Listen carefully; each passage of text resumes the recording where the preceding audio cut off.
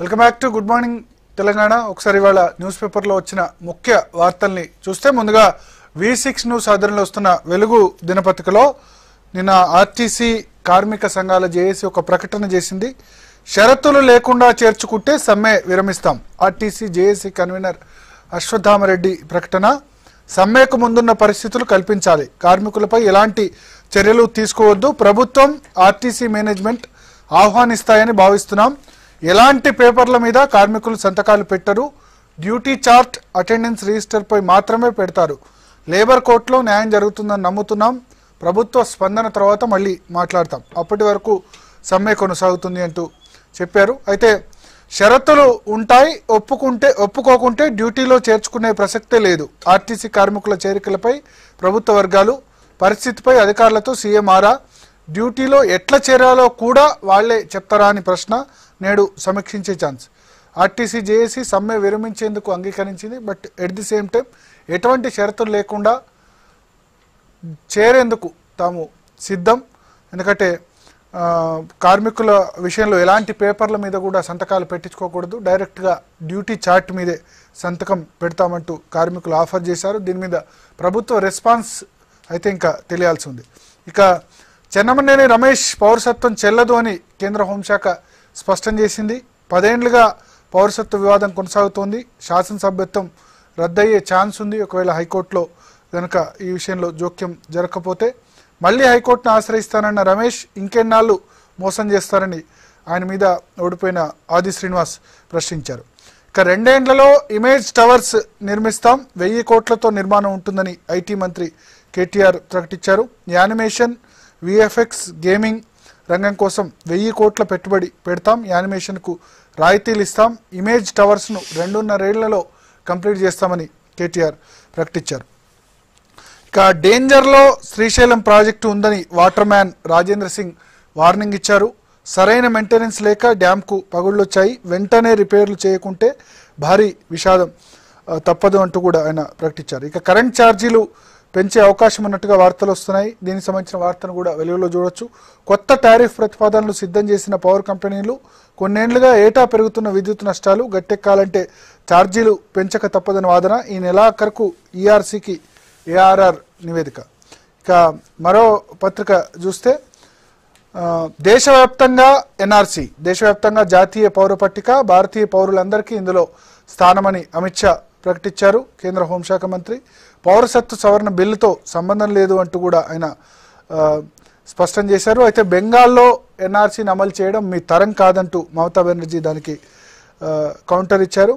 దీంతోపాటు నిన్న కేంద్ర కేబినెట్ కూడా కీలక నిర్ణయం తీసుకుంది. Bharat petroleum corporation limited SCI కాంకర్లలో ప్రభుత్వ వాటా విక్రయం చేసి యాభై ఒక్క శాతం లోపుకు పిఎస్యులో వాటా కుదింపుకు సిద్ధంగా ఉన్నట్లు ప్రకటించింది. అదేవిధంగా ఉల్లి ధరల నియంత్రణ కోసం లక్ష టన్నుల దిగుమతులు చేసుకోవాలని కూడా కేంద్ర కేబినెట్ నిర్ణయించింది. ఇక మరో పత్రిక చూస్తే సినీ రాజకీయ ప్రముఖులపై ఐటీ ఎమ్మెల్యే మాధవరం కృష్ణారావు నిర్మాత సురేష్ బాబు ఇంట్లో సోదాలు. రామానాయుడు స్టూడియో సురేష్ ప్రొడక్షన్ ఆఫీసుల్లో పత్రాల పరిశీలన. వెంకటేష్ నాగార్జున నాని ఇళ్ళలోనూ కూడా దాడులు జరిగినట్లుగా ఆంధ్రజ్యోతి పత్రికలో కథనం రాశారు. దాంతోపాటు దాదాపు అన్ని పథకాలు కూడా అమిత్ షా సంబంధించిన స్టేట్మెంట్ కూడా ప్రధానంగా ఇచ్చాయి. దేశమంతా ఎన్ఆర్సీ పౌరులందరికీ వర్తిస్తుంది అన్న అంశాన్ని కూడా ప్రధానంగా ఇచ్చాయి. ఆర్టీసీ జేఏసీ నిన్న ఒక ఆఫర్ ఇచ్చింది ప్రభుత్వానికి. షరతులు లేకుండా చేర్చుకుంటే సమ్మె విరమిస్తాం.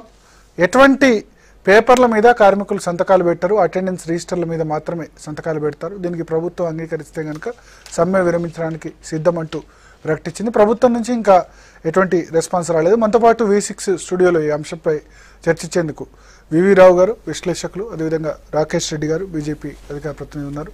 కాంగ్రెస్ నుంచి ఇందిరా శోభన్ గారు మరిగా సభట్లో జాయిన్ అవుతారు. ముందుగా వివి రావు గారు ఇప్పుడు ప్రభుత్వం ఎట్లా రెస్పాండ్ కావాలి కార్మికుల ఆఫర్ మీద? ఇప్పుడు ఇప్పుడు నలభై నలభై ఆరో రోజా? ఇది నలభై ఏడా? నలభై ఏడో రోజు జరిగింది. నలభై ఏడు రోజుల తర్వాత ఇవాళ కార్మికులు ఏ నిర్ణయానికి వచ్చారు? ఇలా ఇవాళ మనం చూస్తే వాళ్ళ షరతులు ఎక్కడ పోయినాయి? వాళ్ళు ఏదైతే నలభై దాదాపు ఇరవై మూడు ఇరవై రెండు అంశాలు మీరు మాకు చేస్తేనే వస్తామని చెప్పి లాస్ట్కి జాయిన్ అయ్యే దగ్గర ఒక మీరు ఈ షరతు పెట్టకుండానే అంటే అసలుకు సబ్జెక్ట్ అంతా ఎటు నుండి ఎటు తిరిగింది? నేనేది ఏంటంటే ఇప్పుడు ఆర్టీసీ యొక్క పరిస్థితి ఏంటంటే ఒక రైతు విపరీతమైన డ్రాట్ వచ్చిన తర్వాత ఒక కొద్దిపాటి వర్షం పడితే చినుకులు పడగానే దాన్ని పంట వేసుకొని లాసెస్ అన్ని పుడుచుకొని బయటపడాల్సినటువంటి రైతు షరతు ఏ రకంగా వచ్చిన అదను పరిస్థితిని తనకు మలుచుకుంటాడా? లేకపోతే ఇంకా మీనమేషాలు లెక్కబెట్టి ఉన్న వర్షం కూడా వెళ్ళిపోయిన తర్వాత పరిస్థితులు దున్నుకునే పరిస్థితులు వదిలేసి ఇంకా ఆ పరిస్థితిలో ఈరోజు సమ్మె నేనేమంటానంటే అసలు ఇక్కడ పరిస్థితులు మారిపోయినాయి. అంటే ఇప్పుడు ఏం చేయాలి? మీ ఉద్దేశంలో ఇప్పుడు వారు వాళ్ళు ఖచ్చితంగా వెళ్ళి ముందు ఆర్టీసీని కాపాడుకోవాలి వాళ్ళు. ఇప్పటికే చాలా లాస్ అయిపోయింది. దాదాపు ఇప్పుడు నలభై ఏడు రోజులలో జరిగిన లాస్ అసలు ఎలాంటి షరతులు లేకుండా కానీ గవర్నమెంట్ నుంచి ఏం రెస్పాన్స్ లేదు కదా? ఖచ్చి నేనేమంటున్నానంటే మీరు ఈ రకంగా వాదనలు చేస్తుంటే ఇంకా ఏం ఇప్పుడు వాళ్ళు ఒక మాట చెప్పినారు. బహుశా మీరు షరతులు పెట్టకుండా మేము జాయిన్ అవుతామంటే ప్రభుత్వం రేపు పొద్దున మళ్ళీ ఒక అవకాశం ఇస్తుందేమో. ఇయ్యకెందుకు ఊరుకుంటుంది? ప్రభుత్వం కూడా షరతులు పెట్టద్దు అంటున్నారు. నేను ఏమంటున్నా మళ్ళా సమ్మె చేయం లేకపోతే మళ్ళీ వెళ్ళిన అడగం. ఇటువంటి కదా ఇప్పుడు ఇప్పుడు. ఇప్పుడు ఏమైంది? నలభై ఏడు రోజులలో ఎక్కడ ఎక్కడ సమస్య ఆగిపోయింది? మీరు రావాల్సిన ఫోరం నుంచి రాకుండా లేబర్ కోర్టు పోయి వచ్చుంటే ఇలా ఐదారు రోజులు లేబర్ కోర్టు మీదనే ఆ బాధ్యత పెట్టుంటే ఒక హైకోర్టు ఇలా సమస్యల మీదకి వస్తుండే. ఈ నలభై ఎనిమిది రోజులు సమస్యల మీద చర్చే రాకుండా ఊరికే గావుగావమని ఊరికే ఇప్పుడు తీర్చుకోవాల్సినటువంటి ఫోరంలో వదిలేసి చెట్ల కింద పంచాయతీ పెట్టి చెట్ల కింద పంచాయతీకి తేలేదా ఇది? ఇది మామూలు చిన్న విషయమా? పోవాల్సిన లేబర్ కోర్టుకు ఈ రోజు కూడా జరపలే కదా ఎందుకు జరుగుతుందండి? నేను ఒకటి అంటున్నా ఇది ప్రజా ప్రయోజనం కన్నా ఎక్కువ ఇది ఒక యాజమాన్యానికి లేబర్ సంబంధించిన విషయం అది తెలియదా ఎక్కడున్న కార్మిక నాయక సంఘాల నాయకులకు తెలుసు. కానీ దీన్ని రాజకీయం చేయాలి. రాజకీయం చేస్తే ఏమైంది? ఈ పరిస్థితికి వచ్చింది. ఇది రాజకీయంతో తేలేదా? ఇది ఒక లాభాలకు నష్టాలకు కానీ నలభై. ఎనిమిది వేల కార్మిక కుటుంబాలు ఇబ్బంది పడుతున్నాయి ఎవరు పెట్టారు? ఎవరు పెట్టారు? ఇవాళ కార్మిక సంఘం నాయకుల మీదకి పాయింట్ అవుట్ అయింది. మొత్తం సమస్య అంతా కూడా. ఇవాళ కోర్టు ఇచ్చిన తీర్పు ఏం చెప్తుంది? మీకు పోవాల్సిన అప్రాపరేట్ ఫోరంకు పోకుండా మీరు చెట్ల కింద గావుగావమని ఇప్పుడు దీనికి సంబంధించినటువంటి వ్యవహారంలో కార్మిక సంఘాల నాయకులు ఎంత బాధ్యతలు బాధ్యులు ఉన్నారో ఇంకో పక్కన అపోజిషన్ పార్టీలు కూడా వాళ్ళు కూడా బాధ్యత తీసుకోలేయాల తీసుకోవాల్సి ఉండే. ఏమని? అరే బాబు మీరు ఫస్ట్ ఆ రోజు మీరు ఈ అప్లికేషన్ దీంట్లో పెడుతూ మీరు కొట్లాడండి రా అని చెప్పాల్సి ఉండే ఆ విషయం ఎందుకు తప్పినరు. హైకోర్టు అక్కడనే అయిపోయింది కదా. రాకేష్ రెడ్డి గారు ఆపోజిషన్ ఫెయిల్ అయిందా ఈ వ్యవహారంలో? ఖచ్చితంగా. ఇప్పుడు ప్రజలు ఇబ్బంది పడ్డప్పుడు ప్రజలకు సపోర్ట్గా ఉండడం ప్రతిపక్షాల యొక్క బాధ్యత. మా బాధ్యత మేము నిర్వర్తించినాం. ఇక్కడ ఎవరో ఓడిపోయారని చెప్పడానికి వీలు లేదు. ప్రభుత్వం వెనక్కి- దిగి రాలేదు. ఇప్పుడు ఆకలి కేక అసలు సమ్మె చేయడమే తప్పు అని వివిరావు గారు అంటున్నారు. ఇప్పుడు తప్పు అంటలే నేను. దయచేసి ఒకటి సమ్మెలో కొన్ని పద్ధతులు ఉన్నాయి. ఇవాళ ఇది కార్మికులకు యాజమాన్యం సంబంధించిన విషయం. ఆ రోజు ఆ నోటీస్ ఇచ్చినప్పుడు ఆ లేబర్ కమిషనర్ బాధ్యత చేయడానికి మీరు ఎందుకు ఈ రోజు కూడా ఈ రోజు కూడా అక్కడ పోయి అప్లికేషన్ పెట్టడానికి ఎందుకు వెనకాడుతున్నారు? మీకు ఏమైనా ఇబ్బందులు ఉన్నాయా? మీకు లేబర్ కమిషనర్ మధ్యలో ఏమైనా తప్పుడు ఒప్పందాలు ఉన్నాయా? ఏం జరుగుతుంది అసలు? లేబర్ కమిషన్కి హైకోర్టు రిఫర్ చేసింది. ఇప్పుడు ఆనా తీసుకోవాల్సింది ఇదే- ఈ విషయము లే ఒక ఒక యాజమాన్య ఒక కార్మిక సంఘం నాయకులకు తెలియదా. ఇది బేసిక్స్ ఇది. ఎక్కడైనా ఎక్కడ తెలుసుకోవాలి? బేసిక్ ఇది. ఇప్పుడు మేధావుల యొక్క మేధావితనము ప్రజలకు ఉపయోగపడాలి తప్ప తన అదే అంటున్నా. వీరరావు చెప్పలేదు గారు- మేధావులు చెప్పలేదు. మీ వీరరావు గారు నలభై ఎనిమిది వేల మంది కార్మికులు నలభై ఎనిమిది రోజులు ఈ రకంగా మాట్లాడితే అసలు. సమ్మె తప్పు అనే భావనలో మాట్లాడితే. సమ్మెను సమ్మె తొలగించాలి చట్టాల. నుండి ఎవరు సమ్మె ఎవరు. సమ్మె చేయకూడదు ఎవరు. నిరసన చేయకూడదు ఎవరు ప్రజా పోరాటం చేయకూడదు ఇది కరెక్ట్. విధానం కాదండి ప్రజాస్వామ్యంలో నిరసన. తెలిపేటువంటి హక్కు ప్రజలకు ఉంటది అయితే ఆ. ప్రజాస్వామ్యంలో ఒక మీరు నియంత తప్పు ఎన్నికైనప్పుడు. ఇలాంటి పరిస్థితులు ఎదురైతాయని చేయలేదు. చరిత్రలో నిలిచిపోయేటటువంటి ఘట్టం ఇది ఇక్కడ ప్రజలు. ఓడిపోయిందని ఆర్టీసీ కార్మికులు ఓడిపోయినని చెప్పడానికి ఈ. రోజు ఈ రోజు కేవలం ఏంటంటే ఆకలి కేకలు చావు. కేకలు భరించలేక భరించలేక ఒక అడుగు వెనక్కి వేయడం? జరిగింది తక్కువదండి ప్రజల ప్రాణాలంటే ముఖ్యమంత్రికి లెక్కలేదు ప్రభుత్వానికి లెక్కలేదు ఎందుకు? అయినంత మాత్రాన కార్మిక నాయకులు అట్లనే ఉండాలి ఓ, ఆమెను చూస్తూ ఊరుకుంటారా ఒక అడుగు వెనుక వేసి ప్రజలు చనిపోతా ఉన్నాడు ముఖ్యమంత్రి స్పందించడం లేదు ప్రభుత్వం స్పందించడం లేదు కాబట్టి ఇంకా నష్టం జరగకూడదనే ఒక ఆలోచనతో మేము సమయం విరమింపజేస్తున్నాం అని చెప్పేసి వాళ్ళు? దాంట్లో తప్పేముంది?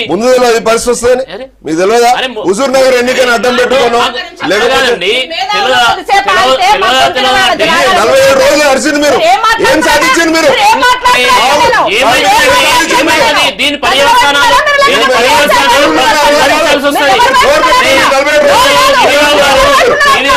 మాకు తెలియదు.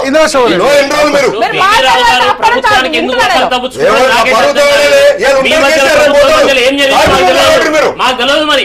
ప్రభుత్వం మధ్యలో ఏం జరుగుతుందో మాకే తెలియదు ఎవరైనా మీరు ప్రభుత్వం వకాలు ఎందుకు ఇలా కేసీఆర్ కాబట్టి అరే, ఇంకో- నలభై ఇంకో అట్లా నేను ఉండండి, అనుకుంటా ఇరవై నాలుగు కార్మికుల సంవత్సరాలు పరిస్థితి చెప్పండి. ఎలా? ఒక్క- ఒక్క నిమిషం, ఇయ్యండి. ఇరవై నాలుగు మంది పోలీసు కావాలి. పోలీసు మనిషి, చెప్పండి. పోలీసు రాకేష్ గారు. ఇరవై నాలుగు మంది చనిపోయినప్పుడు ఎక్కడ పోయినా మీరు? రాకేష్ గారు కూల్ వీరరావు గారు కూల్ ఎస్ సూసైడ్ నోట్లు. కాబట్టి మీ లబ్ధి కోసం. ఎవరి లబ్ధి కోసం? మీరు ఒక్క నిమిషం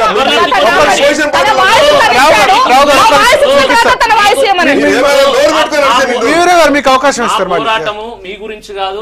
మీ పైన కాదు. మా పోరాటము ప్రజల గురించి. కార్మికుల గురించి. కాబట్టి మీరు అడిగే ప్రశ్నలకు అసలు మీరు స్పందించాల్సినటువంటి అవసరం కూడా లేదు. ఎందుకంటే మీ ప్రశ్నలు మీ వాదన ప్రభుత్వానికి భజన చేయడానికి ఉన్నాయి. ముఖ్యమంత్రి కేసీఆర్ భజన చేయడానికి ఉన్నాయి తప్ప ఎవరికి ఉపయోగకరంగా లేవు. ఒకటి. రెండోది నేను చెప్పేది ఏంటంటే ఇప్పుడు మీరు అందరూ అనొచ్చు ఆ ఓడిపోయిన కానీ దీని పర్యవసానాలు కేసీఆర్ భవిష్యత్తులో ఫేస్ చేయాల్సి ఉంటది. అరే ఎన్ని రోజులు చెప్తారండి? అరే ఎవడు ప్రజాస్వామ్యంలో ముఖ్యమంత్రి ప్రజల. తీర్పు?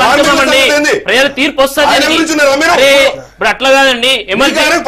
ఇప్పుడు. వీరరావు గారు నేను చెప్పేది. అట్లా కాదండి. ఇప్పుడు అట్లా కాదు. ఇంటర్ విద్యార్థులు చనిపోయినప్పుడు ఎందుకు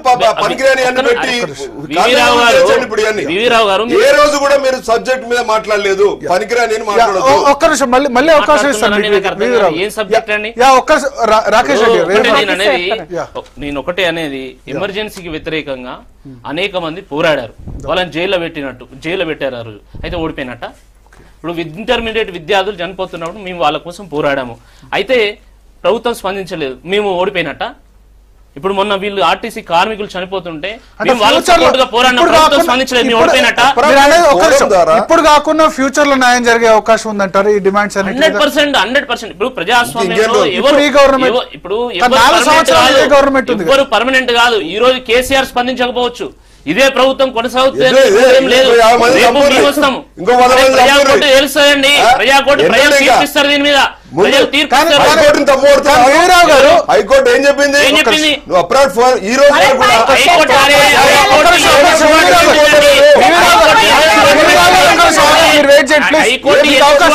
హైకోర్టు చీఫ్ జస్టిస్.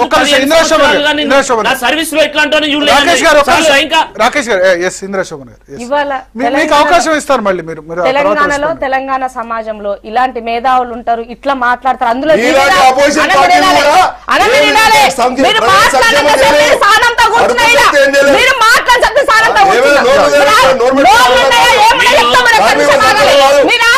చేయలేదు. చేయలేదు. నేను. Pink coat better. కాబట్టి మీరు ఆగాలి. టీఆర్ఎస్లో జాయిన్ అయ్యి మాట్లాడండి. బాగుంటుంది. చాలా బాగుంటుంది. ఒక్క నిమిషం. Yeah, yeah. Yes, yes. ఇవాళ మాకు మీరు. వ్యక్తిగత మేధావి మాట్లాడొద్దు. వర్గాలు ఇవాళ రావు లాంటి వాళ్ళు కూడా ప్రజల కోసం మాట్లాడే వ్యక్తులు కూడా ఈ రకమైనటువంటి స్టాండ్ తీసుకుంటారని నేను ఎక్స్పెక్ట్ చేయలే మీరు మాట్లాడుతున్నటువంటి దాన్ని మీరు ఒకసారి పునరాలోచించుకోవాలని మాత్రం కోరుతున్నా మీ విజ్ఞత వదిలేస్తున్నా. ఇక్కడ జరిగినటువంటి అంశంలో కార్మికులకు సంబంధించినటువంటి ఇష్యూలో వాళ్ళు ఇంతమంది ప్రాణాలు పోతున్నా కేసీఆర్ ఎక్కడ కూడా పట్టించుకునే పరిస్థితి లేడు ఆ వైపు ఆలోచించే పరిస్థితి లేదు. గంటలు గంటలు తరబడి సమీక్షలు చేస్తున్నాడు కానీ ఆ గంటలో ఒక అర్ధ గంట టైం వాళ్ళకి ఇస్తే సమస్య సాల్వ్ అయిపోతుంది. ఆర్టీసీ ఈ పరిస్థితికి రాదు అన్నది మా యొక్క వాదన. ఇవాళ ఇంత అయినా కూడా వాళ్ళు ఎందుకు దిగాల్సి వచ్చిన అవసరం వచ్చింది? ఇంకెంతమంది ప్రాణాలు పడగొట్టుకోవాలన్న ఆ యాంగిల్లో కోర్టు ఇచ్చినటువంటి నేపథ్యంలో వాళ్ళు తగ్గినారు. ఫస్ట్ కార్మికులే తగ్గారు మళ్ళీ కూడా కార్మికులే తగ్గారు. ఇక్కడ ప్రభుత్వం ఎక్కడ కూడా ఒక మెట్టు తగ్గలే. లేబర్ కోర్టుకి ఎందుకు పోలని సోదరులు అడిగిందానికి నేను చెప్తున్నా. లేబర్ కోర్టు కమిషనర్కి లేబర్ కమిషనర్కి ఆల్రెడీ మేనేజ్మెంట్కి ఇచ్చినట్లే లేబర్ కమిషనర్కి కూడా వాళ్ళు నోటీస్ ఇచ్చినారు. ఇచ్చినప్పుడు అక్కడ labour commission within five డేస్లో స్పందించాల్సిన ఎందుకు స్పందించాలని అడుగుతున్నా నేను? ఈ ఈ మేధావులు ఎందుకు ఆ రోజు మాట్లాడుతున్నా ముప్పై ఒక్క మంది చనిపోతే ఆ మరణాలను కూడా సహజ మరణాల కింద అంతగట్టినటువంటి సిఎస్లు ఏమంటే పొలిటికల్ అఫిడవిట్ ఇచ్చినటువంటి సిఎస్లు దరిద్రులు మాకు తెచ్చినాక మా తెలంగాణ బిడ్డలు మేము పొట్ట పెట్టుకోపోతే ఏం చేస్తామండి? మా నోరు వేసుకొని మాట్లాడుతుంటే నోరు వేసుకొని ఏం చేస్తున్నాం చెప్పండి. ఎవరు గొంతు ఏమని అడుగుతున్నా నేను? తెలంగాణ నుంచి తప్పు చేసిన కాంగ్రెస్ పార్టీ అని అడుగుతున్నా నేను? ఇవాళ ఏం తప్పు ఏం చేసిందని పార్టీలు? ఇక్కడ ఉన్న బీజేపీ అయినా కాంగ్రెస్ అయినా ఏం తప్పు చేసిందని అడుగుతున్నా నేను? మీలాంటి వాళ్ళు ఎందుకు మాట్లాడతలేరు? కేసీఆర్ ఎందుకు నిలదీస్తున్నారని అడుగుతున్నా నేను? అది అది అది నేర్చుకోండి ఫస్ట్ కోర్టు కూడా చివరి వరకు. కోర్టు చాలా అదిగా ప్రవర్తించింది కాదనట్లే. ఆ ధైర్యంతో కార్మికులు ఇంకా ముందుకెళ్ళారు ఇలా పాటల ధైర్యం కూడా కాదు. ఉన్నటువంటి కోట ధైర్యంతోనే ముందుకెళ్ళారు. అయినా చివరి నిమిషంలో కోర్టు కూడా చేతులెత్తేసే పరిస్థితికి వచ్చిందంటే ఇక మరి ఎవరు దించాలా? ఎవరిని మాట్లాడాలా? కోర్టులను కూడా కొన్ని సందర్భాల్లో ప్రశ్నించాల్సిన అవసరం ఉంది. ఇదే ఇరవై ఏడు మంది ఇంటర్మీడియట్ స్టూడెంట్ చనిపోయినప్పుడు ఇదే కోర్టు చాలా సార్లు ప్రశ్నించింది. చాలా తీవ్ర స్థాయిలో ప్రశ్నించింది. చివరికి ఎవరిని బాధ్యం చేసింది? ఎవరిని బాధ్యం చేసిందా? ఎవరిని చేయలే? ఇదే వివరాన్ని ఇదే మాట మాట్లాడండి. ఆయన ఇద్దరం ఈ వేదిక పైన ఉన్న మేము మాట్లాడినాడు. మరి ఎందుకన్నా? మీరు ఆ రోజు ఎందుకు మాట్లాడతలేరు? ఇవాళ ఎందుకు మాట్లాడతలేరు? చివరిగా ఏమైనా పాటలు చేయబట్టే ఇవాళ వాళ్ళ వైపు వెళ్ళిపోయినారు. పార్టీలు చేయబట్టే వాళ్ళు రోడ్డు మీదకి వచ్చినారు. ఏం మాట్లాడుతున్నారు? మీలాంటి వాళ్ళు ఇలా మాట్లాడడం కరెక్ట్ కాదు. ఉద్యమంలో పాల్గొన్నటువంటి మంత్రులు ప్రధాన ఉన్నటువంటి ఎవరు? ఎమ్మెల్యేలు మేధావి ముఖాలు వేసుకొని చేసుకున్నటువంటి నాయకులందరి గురించి ఎందుకు మాట్లాడతలేరు? మీకు బాధ్యత లేదా? తెలంగాణ కావాలని అడిగిన బాధ్యత తెచ్చుకున్న తెలంగాణలో హక్కులు లేకపోతే అడిగే బాధ్యత నీకు లేదని అడుగుతున్నా. ఆ దిశగా మీ పనులు ఉండకుండా తిరిగి మా పైన వాడడం ఇది సబబా? ఇది సబబా అని అడుగుతున్నా నేను. పునరాలోచించుకోండి మీరు చాలా మంది. ఇట్లా మేధావి ముసుగులు వేసుకున్న వాళ్ళందరినీ ఏదో ఒక రోజు తెలంగాణ సమాజంలో తిరిగి కొడతారు జనాలు. అది గుర్తుపెట్టుకోవాల్సినటువంటి అవసరం ఉన్నది. అదంతా వదిలించి ఆర్టీసీ ఈ స్థాయికి దిగజడానికి కారణం ఎవరండి? ఎవరు కారణం అని అడుగుతున్నాను ఇవాళ. ఆర్టీసీ మొత్తం ఆస్తులు ధ్వంసంగానికి కారణం ఎవరు? ఇవాళ ఆస్తులు ఎవరి పేరు మీద ఉన్నాయి? కవితకు ఈ రోజు వరకు కూడా కరీంనగర్ జోన్లో ఉన్నటువంటి పది ఎకరాల ఆమె పేరు పైన ఉంది. తీను బయట. మీకు ఇంత ఉన్నది కదా? మీరు అన్ని దగ్గర ఆర్టీఐలు రాస్తారు. తీయండి మీరు బయట. మాట్లాడి అడగండి అట్లాంటి విషయాలు. ఇలా ఆరుమూరు ఎవరి పేరు పైన ఉన్నది? అడగండి. అఫిడవిట్ ఓపెన్గా పెట్టినారు రెండు కోట్ల అరవై లక్షల లక్షలు అప్పున నేను ఆర్టీసీ కానీ. ఎవడబ్బా జాగిరండి? తెలంగాణ సొమ్ము తెలంగాణ బిడ్డలే కదా. ఆర్టీసీ కోసం తెలంగాణ వాళ్ళు కొట్టనుండి ఆర్టీసీలకు రావా? ఇది అందులో నేను నా భాగస్వామి లేకపోతే నాకెందుకు? ఈ ముఖ్యమంత్రి ఎందుకని అడుగుతున్నాను నేను? నాకు అవసరమా? నా కోసం నా పాలన చూడని వాడు నాకు ముఖ్యమంత్రి అవసరమని అడుగుతున్నాను నేను. ఆ వైపుకు మీ చర్యలు ఉండాలి తప్ప ఈ విధంగా రెచ్చగొట్టే విధంగా మాట్లాడడం అన్నది తగదు. అది మీకు సూట్ కాదు ఫస్ట్ ఆఫ్ ఆల్ మరి మీరు ఎవరిని ఆవహించిందో నాకు తెలియదు మిమ్మల్ని కానీ ఈ రకమైనటువంటి ఆటలు వివి రావు గారి నుంచి నేను ఎక్స్పెక్ట్ చేయలే. ఇది అబ్జల్యూట్లీ రాగానే మీరు క్షమాపణ చెప్పాల్సినటువంటి అవసరం అయితే ఉంది. ఎందుకంటే హుందాగా ఉంటారు కాబట్టి నేను కూడా హుందాగా చెప్తున్నా మీకు. ఇంకొక అంశం. ఆర్టీసీ లాభాల వైపుకి రావాలంటే ఏం చేయాలండి మీరు? ఉన్నటువంటి ఆస్తులు ప్రైవేట్ వాడికి ఇచ్చడం కాదు. ఉన్నటువంటివి యాడ్ ఏజెన్సీ నుంచి ఎట్లా డబ్బులు వస్తాయి? ఇవాళ ఉన్నటువంటి జూబ్లీ బస్ స్టేషన్ తర్వాత ఉన్నటువంటి ఏది మన ఈ రెండు ఉన్నటువంటి పెద్ద బస్ స్టేషన్లకి ఎట్లా మనం దాని నుంచి ఎకానమీని చేసుకోవాలన్న దానికి? ఈ వైపుకి మీ చర్యలు ఉండాలి తప్ప వచ్చిన ఆరు సంవత్సరాల్లో కేసీఆర్ ఏ ఒక్కనాడన్నా ఆర్టీసీ డెవలప్మెంట్ కోసం చేసినాడా? ఇచ్చినటువంటి కమిటీ రిపోర్ట్ కూడా ఈ రోజు వరకు మీరు తీసుకున్నటువంటి పరిస్థితి. ఇక నీకు నా మీద ప్రేమ ఏముందనుకోవాలా? ఇట్లాంటి అంశాలపైన చర్చ జరగకుండా చివరికి కోర్టులో కూడా అఫిడవిట్లో ఇచ్చినటువంటి వాళ్ళపైన మీరు మాట్లాడినా ఐఏఎస్ ప్రశ్నించండి. మీరు ఎవరు వాళ్ళ ఆ ఇంటి జీతగాల గడికి జీతగాలని అడగండి మీరు. ఎందుకు అడుగుతలేరు? యా. యా. వివరావు గారు ఇందాక మీరు ఆర్టీసీ కార్మికులు సమ్మెకు పోవడం తప్పు కాదు అని మీరు అన్నారు ఒకటి. మరి అదే సందర్భంలో మళ్ళీ తప్పు పడుతున్నారు. ఏ విషయాన్ని స్పెసిఫిక్గా తప్పు పడుతున్నారు మీరు? ఇప్పుడు ఏం జరిగిందంటే కార్మికులు తమ యొక్క అధికారాలను తమ యొక్క హక్కులను సాధించుకోవడానికి ఒక యూనియన్లో చేరుతారో యూనియన్ నాయకులు పూర్తిగా ఆ ఉద్యమాన్ని ఎట్లా నడపాలి పరిస్థితులకు అనుగుణంగా వాళ్ళ రైట్స్ ఎట్లా కాపాడాలనేది ఉద్యమ నాయకులకు ఉన్న విజ్ఞత వల్ల ఆయన ఎన్నికల్లో ఆయన తెలివిని ఆయనకున్న సబ్జెక్టుని బట్టి ఆయన ముంగడబెట్టుకుంటారు ఇవాళ ఏం జరిగింది? అశ్వత్థామరెడ్డి గారు ఆ మిగతా పద పది సంఘాల వాళ్ళందరూ కూడా యూనియన్లో నాయకులుగా వ్యవహరిస్తున్నప్పుడు వాళ్ళు చేయాల్సిన పని ఏంటంటే బేసిక్గా ఒకటి రాజకీయ సొల్యూషన్ ఉంటుంది రెండోటి రాజకీయ సొల్యూషన్ కాకుండా కార్మికులకు యాజమాన్యానికి ఏదైనా ఇబ్బంది వచ్చినప్పుడు ఒక అడ్జుడికేషన్ సంస్థ అనేది లేబర్ కోర్ట్ అనేది చట్టంలో ఉన్నది. ఎప్పుడైతే మీరు పొలిటికల్ సొల్యూషన్ గురించి తీవ్రంగా ఫైట్ చేసిన కానీ హైకోర్టు వాళ్ళకి ఆశలు ఇచ్చింది కదా. High court comments. హైకోర్టు కామెంట్స్ వాళ్ళకి చాలా ఆశలు కల్పించాయి కదా. నేను అదే చెప్తున్నా. ఇప్పుడు హైకోర్టు కామెంట్స్ ఒక విధంగా ఉంది లాస్ట్కు తీర్పు. అక్కడికే వస్తున్నా. ఎప్పుడైతే మీకు ఆ అవకాశం ఏదైతే పొలిటికల్ సొల్యూషన్ మీకు మీకు ఫిజిబుల్ అంటే మీకు దాని ద్వారా లాభం జరుగుతలేదు అనుకున్నప్పుడు ఇమ్మీడియట్గా సైమల్టేనియస్గా మీకు లేబర్ కోర్ట్ నుండి సమాధానం తెచ్చుకునే పరిస్థితి మీకు ఉంది. అయితే ఈ మొత్తం ఎపిసోడ్లో చూస్తే మీరు ఒక పక్కన హైకోర్టుకు పోయినారు. హైకోర్టు కూడా ఎప్పుడు నిర్ణయం చేస్తుంది? వాస్తవాలు దాని ముంగడికి వచ్చాయి. ఫస్ట్ హైకోర్టు ఎందుకు ఇమీడియట్గా నిర్ణయం చేయలేకపోయిందంటే పూర్తి వాస్తవాలు దాని ముందుకు రాలేదు. అక్కడ ఎంతసేపు సెంటిమెంట్ వ్యవహారంలో ప్రభుత్వం తప్పు తప్పు కూడా లేదా? ఖచ్చితమైన తప్పు. నేనే ప్రభుత్వాన్ని వెనకేసుకు రావట్లేదు. నేను అట్లా కాదు. ప్రభుత్వం ఒక మాట చెప్తుంది. ఇవాళ మారిన పరిస్థితులకు అనుగుణంగా. ఇవాళ హైకోర్టు కూడా నిన్న జడ్జిమెంట్లు అదే చెప్పింది. ఏం చెప్పిందంటే మారుతున్న పరిస్థితులకు అనుగుణంగా మొన్న రెండు వేల పద్నాలుగు ఎన్నికల ముందు రెండు వేల పద్ పంతొమ్మిది ఎన్నికల ముందు రెండు వేల పంతొమ్మిది ఎన్నికల తర్వాత ఇలా కేంద్రంలో వచ్చిన చట్టము చూస్తే కూడా ఎప్పటికప్పుడు మన ప్రజా పార్లమెంట్లకు అసెంబ్లీలకు ఒక అధికారం ఇచ్చినాం. మారుతున్న పరిస్థితులు. ఉమ్మడి కుటుంబాల నుంచి వెళ్ళి ఇప్పుడు చిన్న కుటుంబాలకు వచ్చినప్పుడు ఎట్లయితే మార్పు వచ్చిందో ఈ వ్యవస్థలో మార్పు వస్తుంది. అయితే దాన్ని ప- కార్మికులకు డ్యామేజ్ జరగకుండా ఒక పక్కన రెండు బ్యాలెన్స్ చేసుకొని పోవాల్సిన బాధ్యత ఎవరి మీద ఉంది? కార్మిక సంఘ నాయకుల మీద ఉంది. అయితే వాళ్ళు ఒక పక్కన వీళ్ళందరూ ఎందుకు అశ్వత్థామరేకి ఓటేసి ఎందుకు ఆయన గెలిపించారంటే సీఎంతో కూర్చొని చాలా సవ్యంగా ఆయన ఒక జాగ్రత్తగా ఆయన బయటపడేసారు అనుకున్నారు. ఈ అక్కడ జరిగింది ఏమైంది? కొన్ని బేసిక్సే మీరు మిస్ అయ్యారు. అంటే సీఎం సీఎం అసలు చర్చలు జరపలే కదా లేదు ఇక్కడ. సీఎం ఏ సీఎం అయితే ఫిట్మెంట్ ఇచ్చినాడో ఫార్టీ సిక్స్ పర్సెంట్. ఏ సీఎం అయితే వీళ్ళకు ఎవరు ఇయని గత ప్రభుత్వాలు ఇయనటువంటి ఒక వెసులుబాటు ఇచ్చినాడో ఈ విషయంలో కూడా వీళ్ళు డీల్ చేయడంలో తప్పు జరిగింది ఒకటి రెండోటి. ఓకే. ఆయన కూడా ఆయన ఒక లిమిట్ తప్పిండి అనుకుందాం. ఆయన కూడా పక్క రాష్ట్ర సీఎం విలీనం చేశాడు. దాన్ని పక్క రాష్ట్ర సీఎం మొన్నటి వరకు కలిసి పనిచేసిన కార్మికులు తోటి కార్మికులు. ఇంకా విభజన కూడా జరగలేదు. అక్కడ విలీనం జరిగినప్పుడు ఇక్కడ విలీనం అన్నారు. విలీనం అనే అంశము ఉన్ను ఈ కార్మికుల ఆర్టీసీ రక్షణ రెండు వైరుధ్యమైనది. విలీనంలో రేపు పొద్దున మొత్తం కార్మికులు తీసుకొని వేరే డిపార్ట్మెంట్లు వేసుకోవచ్చు. ఆర్టీసీ సంకనాగిపోతుంది ఇది తప్పు మాట్లాడుతున్నారు. రెండు ప్రజా ప్రయోజనం లేదు కూడా- జగన్ అది ఏదో రాజకీయం కోసం చేసినాడు కానీ ఇప్పటికి కూడా ఆయన దగ్గర బడ్జెట్ ఎక్కడుంది? ఎట్లా సాధ్యం అవుతుందంటే సమాధానం లేదు వాళ్ళకి ఇప్పటి వరకు కూడా ఒకటి రెండో విషయం నేను చెప్పి కంప్లీట్ Yeah. రెండో విషయం ఇవాళ కార్మికులకు మంచి అవకాశం. అంటే ఇంత డ్యామేజ్ జరగకుండా ఉండడానికి ఆ కార్మిక స- కమిషన్ ముంగడి పోయి ఉంటే సైమల్టేనియస్గా ఫస్ట్ బేసిక్గా ఇవాళ అదే హైకోర్టులో సార్ మేము నోటీస్ ఇచ్చాం సమ్మె అయిపోయినాక ఈయన లేబర్. కమిషనర్. లీగలా ఇల్లీగలా అన్నది అంతే తప్ప లేబర్ కన్నా కోర్టు చూసింది. కంపెనీకి ఒక లేబర్ కమిషనర్ వీళ్ళకు పిఆర్సీ ఇమ్మనో విలీనం చేయమనో చెప్పదు. సమ్మె లీగలా ఇల్లీగలా చెప్తుంది. అంతే తప్ప లేబర్ కమిషన్ ఉన్నటువంటి అధికారాలు లేబర్ కోర్టు వినండి అసలు ఫస్ట్ ఇదంతా కూడా చర్చ బయటికి రాకుండా లేబర్ కమిషనర్ దగ్గర బేసిక్గా ఈ సమ్మెకి సంబంధించిన డిమాండ్ పెట్టాలా? హైకోర్టు ఎప్పుడు పెంచారు? హైకోర్టు మా జ్యుడిషియల్ కాలేజ్ చెప్పింది ఈ డిమాండ్ పెట్టకుండా మీరు చెట్ల కింద పంచాయతీ చేస్తారా చెట్ల కింద న్యాయం జరుగుతుందా యా, రాకేష్ గారు సార్ కొంతమంది మేధావులు పబ్లిసిటీ కోసం ఎవరు మీరు చేస్తున్నారు రాజకీయ గెలవడం. కొంతమంది కొంతమంది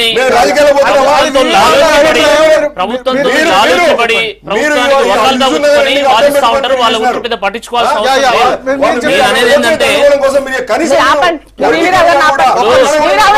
ఒకటి.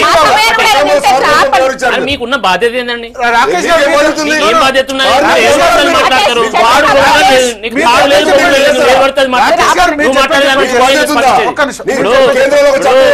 రాష్ట్రంలో కూడా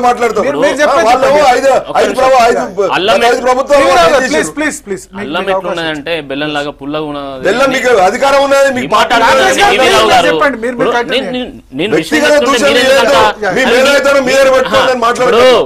నేను- ఒకటే చెప్పేది మహారాష్ట్రలో ఈ రోజు రాజకీయం చేస్తున్నది మీరు.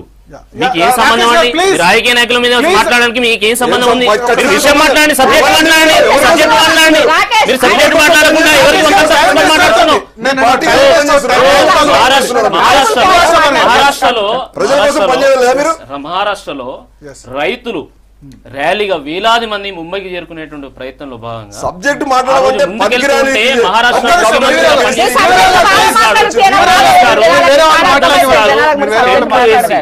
నీళ్ళు ఆహారం అందించి ముంబైకి వచ్చినటువంటి వాళ్ళకు రైలు వేసి వెనక్కి పంపారు. అంటే ప్రజల గురించి ఒకరు హృదయం ఉన్నటువంటి ఒక ముఖ్యమంత్రి స్పందించినటువంటి తీరు. ఇక్కడ ఫడ్నవీస్.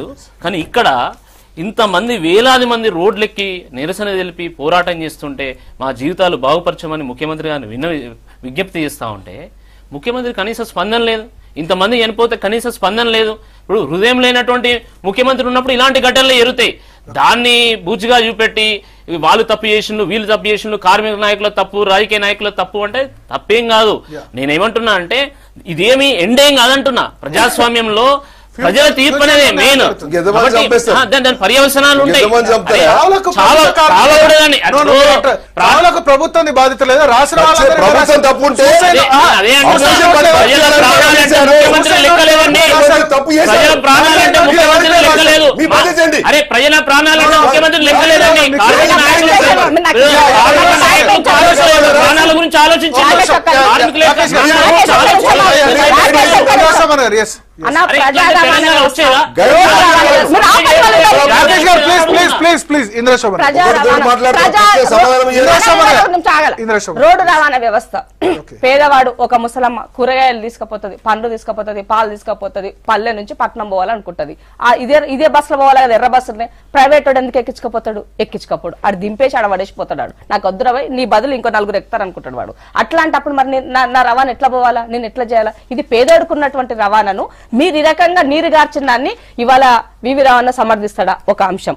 రెండో అంశం ఏంది అని అంటే ఇవాళ మరణాలన్నిటినీ కూడా ఇవంతా సహజ మరణాలని ఆయన చిత్రీకరిస్తూ ఇవాళ ఆల్రెడీ కోర్టే కొట్టేసినాక ఈ పిల్లును తీసుకోవాల్సినటువంటి అవసరం ఉందా అని సిఎస్ మాట్లాడదని మీరు సమర్థిస్తారా రెండు మూడో అంశం రెండు వేల పదమూడులో కేసీఆర్ ఓ మాట్లాడినాడు తెలంగాణ వచ్చిన తర్వాత గిట్లుండాలని మీరు ముఖచిత్రం అనుకుంటారు కదా సార్ మరి టీఎస్పీఎస్పీ చైర్మన్ ఆయన కొన్ని క్వశ్చన్లు అడిగిండు ఆ రోజు అడిగి మరి ఆ టీఎస్పీఎస్పీ చైర్మన్ ఎక్కడ పోయినాడు ఆయన ఇవాళ అది వి సిక్స్లో నిన్న నిన్నటి నుంచి వైరల్ అవుతున్నటువంటి ఒక చిన్న వీడియో ఇంపి తలుచుకున్నాను నేను ఎందుకనంటే అంటే ప్రజలకి వాస్తవాలు తెలవాలి కేసీఆర్ ఆ రోజు ఏం చెప్పినాడు? ఇది జరగాలి అని. అంటే తెలంగాణ పునర్నిర్మాణం అంటే ఒక సెక్రటరియట్ కూల్చగొట్టడమా?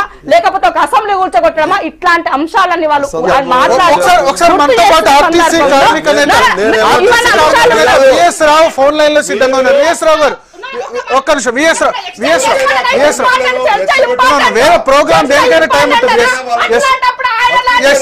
ఒక్క నిమిషం మాట్లాడు. విఎస్ రావు గారు బతికిస్తే బాగుంటది. ఒక్క నిమిషం.